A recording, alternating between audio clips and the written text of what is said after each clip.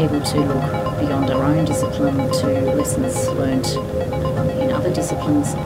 Architecture um, digitally is so advanced now, with relative ease, um, geometries can be translated pretty quickly, so we're not sort of beholden to particular construction types or particular um, material typologies.